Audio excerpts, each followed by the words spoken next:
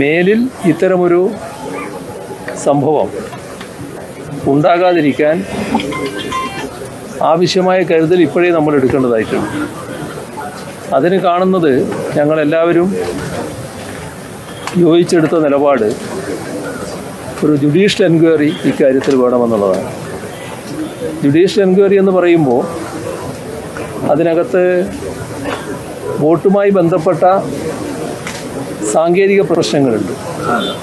Vote യാത്രയുമായി ബന്ധപ്പെട്ട ആളുകളുടെ ജീവൻ രക്ഷിക്കുന്നതുമായി ബന്ധപ്പെട്ട കാര്യങ്ങളിൽ ഒട്ടേറെ സാങ്കേതിക പ്രശ്നങ്ങളുണ്ട്. അപ്പോൾ അത്തരം കാര്യങ്ങളടക്കം ഈ അന്വേഷണത്തിന്റെ പരിധിയിൽ വരണം. അപ്പോൾ സാങ്കേതിക വിദഗ്ധരടക്കം ഉൾക്കൊള്ളുന്ന ഒരു ജുഡീഷ്യൽ കമ്മീഷൻ എന്നാണ് ഉദ്ദേശിക്കുന്നത്. ഈ ജീവൻ നഷ്ടപ്പെട്ടവരുടെ കുടുംബങ്ങൾക്ക് ഒന്നും പരിഹാരമായിട്ട് വരില്ല എന്നുള്ളത് നമുക്കെല്ലാവർക്കും അറിയാം.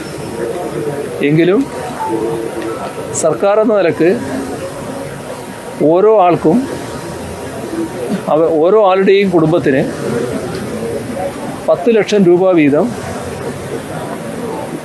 നൽകാനാണ് തീരുമാനിച്ചിട്ടുള്ളത്. അതോടൊപ്പം ചികിത്സയിൽ കഴിയുന്നവരുടെ മുഴുവൻ ചികിത്സാ ചെലവും സർക്കാർ വഹിക്കുന്നതായിരിക്കും.